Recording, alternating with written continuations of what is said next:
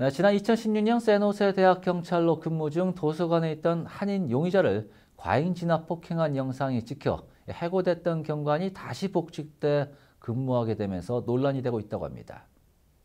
2016년 세노세 주립대학 경찰로 근무 중이었던 조나단 실바와 한인 용의자 필립 정 씨를 체포하는 과정에 구타를 하는 영상입니다. 네, 영상 속 실바는 필립 정 씨에게 목소리를 낮추라고 말합니다. 그리고 이름을 말하거나 아니면 감옥에 갈 수 있다고 말하는데요. 아, 당시 정 씨는 도서관에서 음란 행위를 한 혐의를 받고 있었습니다. 이때부터 실바 경관은 필립 정 씨의 질문에 대한 이상한 행동에 갑자기 격분합니다. 아, 실바는 생년월 일을 물었고 한인 정 씨는 생일을 바꿀 수 있다는 등 횡설수설하는데요. 다시 한번 진짜 생일을 묻자 용의자 필립 정 씨는 나는 없고 신께 맹세한다고 이상한 대답을 합니다. 자 그러자 곧바로 실바 경관은 필립 정에게 일어날 것을 소리친 다음 바닥으로 끌고가 그를 마구잡이 구타하기 시작합니다.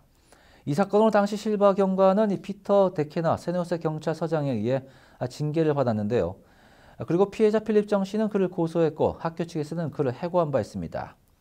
하지만 그 이후 실바 경관은 주 인사위원회에 의해 복직되었고 이후 대학 경찰을 그만두고 현재는 세노세 남쪽 가토시시 경찰로 복직했다고 합니다.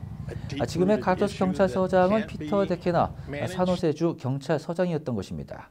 이에 로스가토스 주민들은 실바의 경찰 고용의 재검토에 대한 압도적인 지지를 보내고 있는 실정이며 데케다 경찰은 이 실바 경관은 복권됐으며 모든 필요한 시험과 평가를 통과했다며 이미 성명을 발표한 바 있습니다.